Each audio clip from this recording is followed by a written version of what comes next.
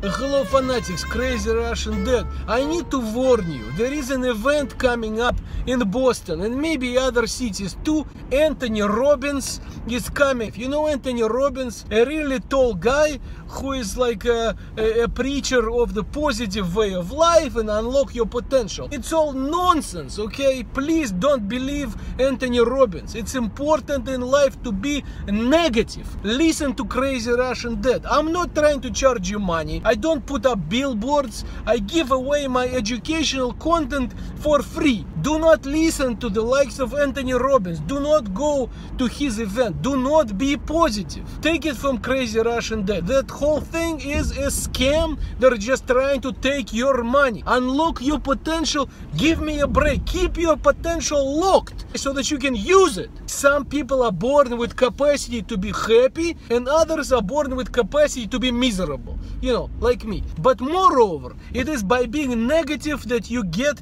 ahead in life. This whole being positive and happy is nonsense. If you're happy, you're lazy. If you're happy, you're not trying to strive for new things. Okay? You need to be negative, you need to be hungry. I have a whole video on the importance of being negative. That's why I don't want to repeat it here.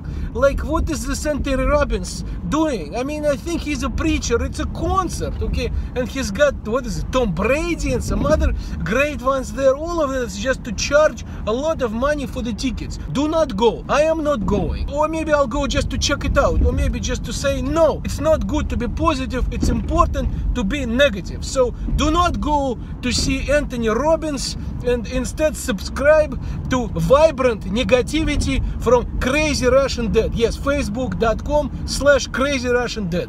Good night.